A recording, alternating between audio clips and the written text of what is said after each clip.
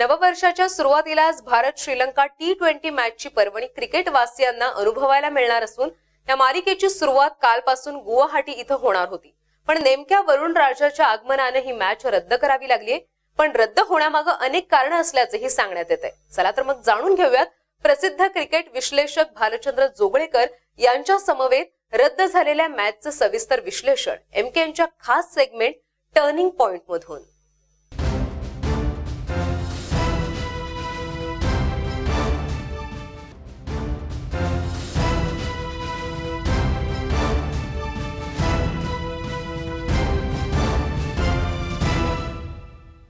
नमस्कार.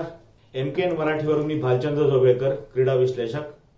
आपणा सर्वांचं हार्दिक स्वागत करतो. सर्वप्रथम मी आपणा सर्वांना नववर्षाच्या शुभेच्छा देतो. आणि नववर्षाच्या दिवशी आज पहिली टी ट्वेंटी मॅच श्रीलंकेबरोबर भारताची होती. परंतु दुर्दैव गुवाहाटीमध्ये पाऊस पडला. अनसिजनल रेन जवळजवळ दीड तास पावसाने झोडपलं.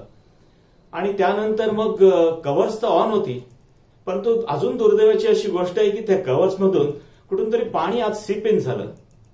ग्राउंड स्टाफनी खूप मेहनत करून जवळ साडेआठला पाऊस थांबल्यानंतर खूप मेहनत करून ग्राउंड आउटफील्ड त्यांनी पूर्णपणे ड्राय करण्याचा प्रयत्न केला आणि त्यात त्यांना यश पण आलं. गुडलिंग स्पॉटवर पण ओल्याचे असे पॅच निर्माण झाले. आणि त्याच्यामुळे काय की मग विकेट खूप डेंजरस ठरायला लागली. अंपायर्सनी सगळ्यांना माहिती आहे त्याप्रमाणे आणि आपल्याला अपेक्षा आहे त्या त्याप्रमाणे इन्स्पेक्शन केली परंतु ते पॅचेस काही वाळले नाहीत. आणि त्याच्यामुळे एक अतिशय दुर्दैवाची गोष्ट आहे की मॅच आजची कॅन्सल करायला लागली. पन्नास हजार प्लस प्रेक्षक गुवाहाटीमध्ये जमले होते एक्सायटेड होते. त्यांच्या चेहऱ्यावरून देहबोलीवरून दिसत होतं की ते भारतीय आणि श्रीलंकेच्या स्टार्सना आणि मॅच बघण्यासाठी अतिशय उत्सुक आहेत. परंतु ते होणं नव्हतं. अतिशय दुर्दैवी गोष्ट.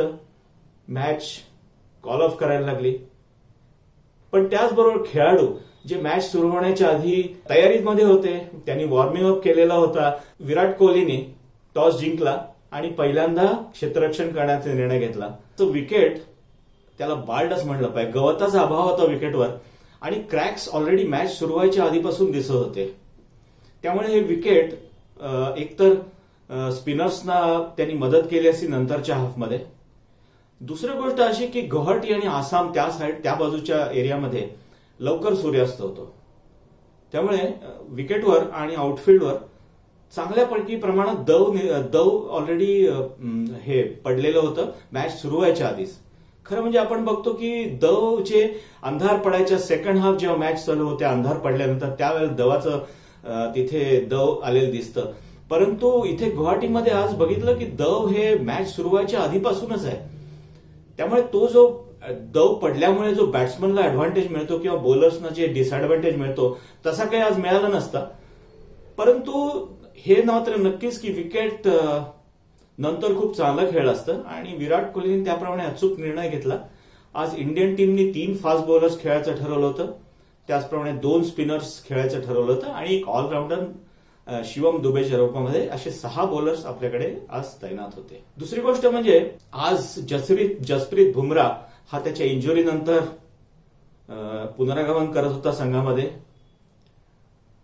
परंतु दुर्दैवाने आणि अतिशय निराशाजनक परिस्थितीमध्ये आज काही मॅच होऊ शकली नाही. त्यामुळे आपल्याला आणि इंडियन फॅन्सना आणि गुवाहाटीची बॉलिंग काही बघता आली नाही. शिखर धवन हाही एक खेळाडू आपला आज पुनरागमन करत होता इंजुरीनंतर राहुल के एल राहुल अतिशय चांगल्या फॉर्ममध्ये आहे. रोहित शर्मानी रेस्ट घेतल्यामुळे शिखर धवनला आज चान्स मिळत होता. आणि मला वाटतं ह्या सिरीजमध्ये रोहित शर्मा नाहीये. तोपर्यंत शिखर शिखर धवनला चान्स मिळू शकतो. परंतु ह्या तीन मॅचेस झाल्यानंतर म्हणजे आजची तर मॅच गेलीच आता उरलेल्या दोन मॅच झाल्यानंतर शिखर धवन परत एकदा असं होईल की तो संघाबाहेर जायची शक्यता आहे. कारण राहुल फॉर्ममध्ये आहे. रोहित शर्मा तर रोहित शर्मा आहे त्याला तर काढणं शक्यच नाही.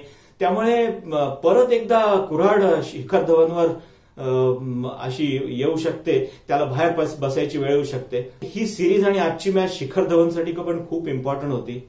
यावर्षी भारत आता श्रीलंकेबरोबर आपण तीन मॅचेसची सिरीज खेळतो त्याच्यापैकी आज एक मॅच झाली नाही परंतु पुढे दोन मॅचेस आहेत. रविवारचा दिवस आहे संध्याकाळची वेळ आहे. घरी टीव्ही बघण्यासाठी कित्येक लोक आतुरतेने वाट बघत बसलेली असतील मॅच सुरू होण्याची. ऑल इन ऑल सर्वांसाठीच ही अतिशय निराशाजनक परिस्थिती आहे. आणि अशी आपण प्रार्थना करूया की अशी वेळ परत येऊ नये. आणि पुढची सिरीज आणि त्याच्यानंतर ज्या इंडियन सॉइलवरती भारतामध्ये ज्या मॅचेस होतात त्याच्यासाठीची साधनं आणि ज्या बाकी ज्या प्रक्रिया केल्या जातात त्या अत्याधुनिक असाव्यात.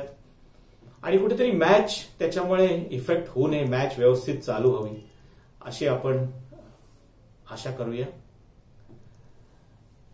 आज आता आपण इथंच थांबूया. पण पुढच्या मॅचचं विश्लेषण घेऊन मी लवकरच येतोय. पुढची मॅच परत एकदा आपल्याला रिमाइंड करतो. पुढची मॅच इंदोरला सात तारखेला आहे.